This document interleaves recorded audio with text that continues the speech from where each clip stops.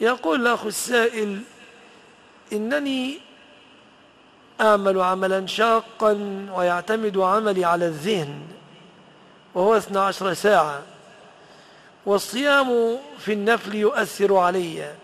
هل أنا مقصر لكوني لا أصوم الاثنين والخميس مثلا؟ لا ولكن اجتهد في أي باب من أبواب الخير آخر. أكثر من ذكر الله مثلا.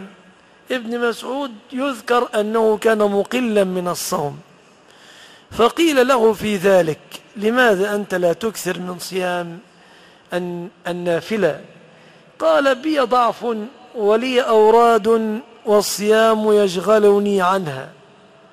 يعني كان جسمه ضعيف وله أوراد أخرى من مراجعات كتاب الله وأوراد من الذكر والصلاة والصيام يضعفه عنها. فإذا عجزت في باب من الأبواب فسائر الأبواب مفتوحة. وقد قال الله تعالى في كتابه الكريم علم أن سيكون منكم مرضى وآخرون يضربون في الأرض يبتغون من فضل الله وآخرون يقاتلون في سبيل الله. فما العمل يعني في مقاتلون في مسافرون تجار في مرضى. فاقرأوا ما تيسر منه.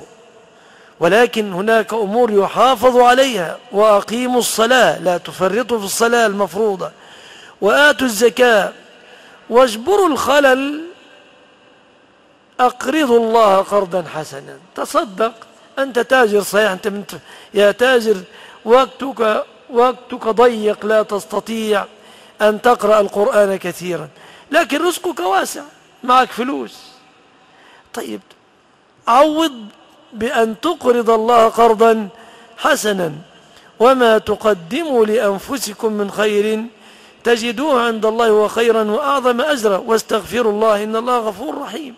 يعني مثلا أنت رجل تاجر مشغول طول الليل وطول النهار وكل يوم في سفر.